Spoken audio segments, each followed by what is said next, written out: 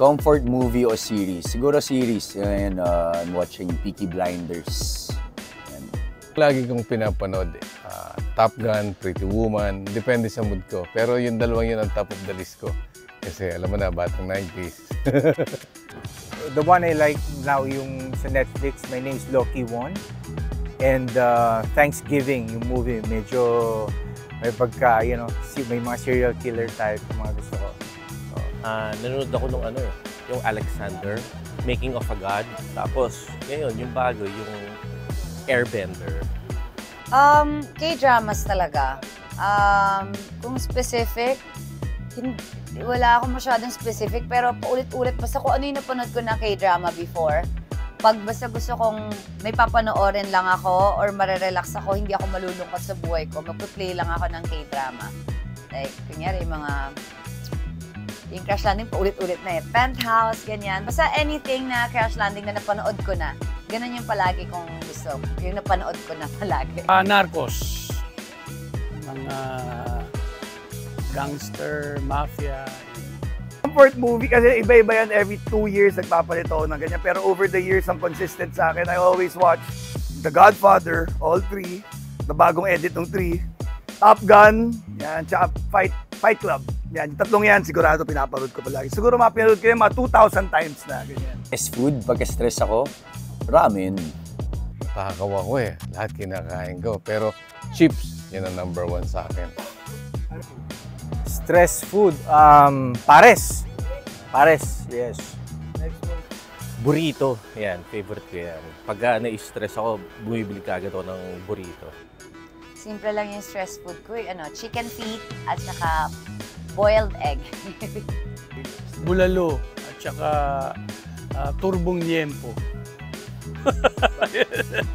eh, ewan ko, yun ang gusto kong kainin pagka medyo, siyempre, pag medyo marami kang iniisip, medyo stress ka, sarap yung may sabaw, tsaka meron kang liempo na, o kaya pinugon na liempo, sarap yun. Stress food. Ah, ano ako, burgers. Burgers and pizza, yan. Automatic yan. Yung naliligo ako, siguro, ano, awit ng kabataan. Um, jazz. Jazz music. Anything jazz. She ni Elvis Costello. Paborito ko siya. Paborito ko siya. I Ain't Worried by One Republic.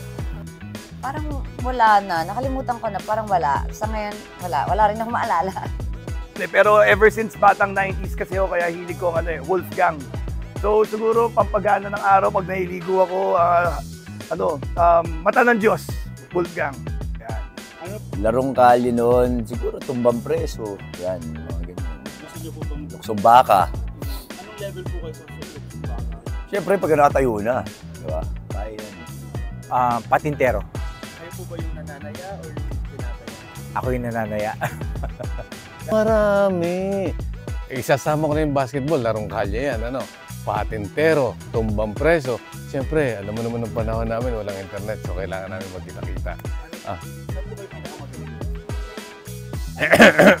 Hindi mo na itatanong.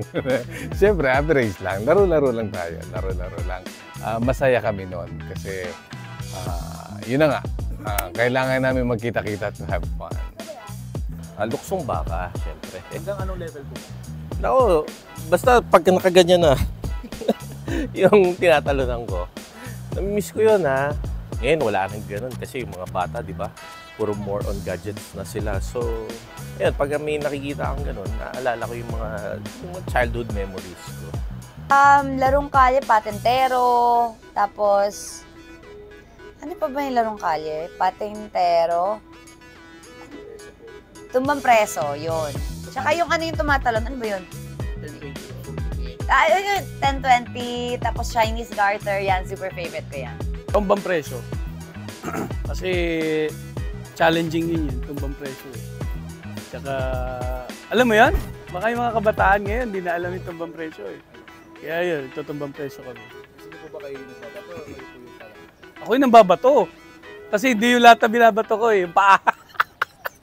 Madali lang yan, ano, ah, patintero. Nung bata kami yan, lagi yung nilalaro yan sa mga kapitbahay ko, patintero kami. Tsaka gawang base. Ano gusto niyo sa patintero? Tinataya o yun ang tataya? Para yun ang tataya. Oh, may, may ligaw mga habol. Kaya kayo hinahabolan si Elias, di ba? Kung hindi ka naging artista, anong ginagawa mo? Ah, well, dream ko kasi maging sundalo. So, hopefully, kung di ako naging artista, baka yun yung ginawa ko. Pero, siguro kung magkakaroon ng alternate universe, baka rockstar ako ngayon. Uh, I think I'll be a public servant. Siguro I'll I'll be doing public service. Uh, because my family is into that line. So, maybe public service. Siguro magbubukid ako. Gusto ko magtanim ng gulay, gusto ko magtanim ng puno, gusto ko sa probinsya. Ganun yung gusto kong buhay. Siguro uh, few years from now, few years from now, baka ganun ang gawin ko. Ah, kasi nung bata ako, mahilig ako sa ano, sa mga animals, sa hayop. Dapat kasi, ang kukunin ko noon, magve-vet med ako. Kasi yung father ko, di ba, surgeon. So sabi ko sa kanya, pa, gusto ko sana maging veterinaryo. Pero sabi niya, hindi anak, ah, pili ka ng ibang gusto mo. Tapos, nung mag-aaral na ako, nung nag-aaral ako, management ang kinuha ko eh. So, eh, sakto biglang nakapag-artista ako noon. So, hindi ko siya na, na, na-finish. Pero nung, ito, nung huli, nag-aaral ako ulit, nag, nag-take ako ng customs administration. Natapos ko naman siya. Kasi ano, isa sa mga wish ng father ko, mga ano yun eh, dying wish niya. Tinanong ko siya, paano bang kailangan kong gawin? Anong gusto mong gawin ko sa buhay ko? Sabi niya sa akin, Gerald, finish your studies. So, I decided na mag-aaral ako ulit kahit nasa 30 years old na ako noon.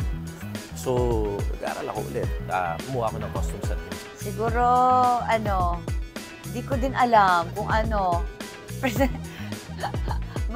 Wala akong idea kung ano ako ngayon kasi 20 years na ako sa showbiz eh. Wala talaga. Siguro ano, yung gusto ko, yung gusto gusto ko ng bata ako mag mag-restaurant. Actually, karinderya nga nun eh. Magtinda ng barbecue. Ah, kasi siyempre, ang linya ng hanap buhay namin, hanap buhay ko, carvings, wood carving, sculpt, eh, sculpture. So, yun yung aking...